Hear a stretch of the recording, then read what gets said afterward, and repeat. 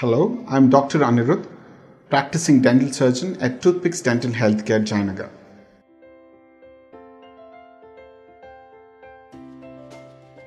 Bleeding disorder can be because of excessive bleeding, or there can be excessive clot formation as well. The two different uh, aspects of uh, bleeding disorder. However, when we're talking about extraction, when there is uh, bleeding that is anticipated, there can be severe bleeding. Uh, or the bleeding may not clot at all. The hemostasis may not be achieved.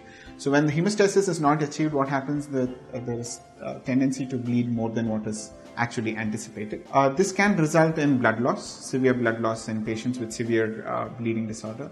It can result in considerable amount of uh, you know complication uh, which needs to be managed. So therefore, before you take care of anything related to bleeding disorder, it is the initial understanding of the disease and the severity of the disease needs to be assessed before we kind of carry out any procedure. Other precautions that we need to take uh, in case of bleeding disorder is to understand where the procedure should be an operative uh, environment or in a chairside environment or what kind of uh, para you know medical facility that is required all these things are definitely you know important in treating patients with bleeding disorder along with their other medical uh, supervision and uh, prescriptions that are already being carried out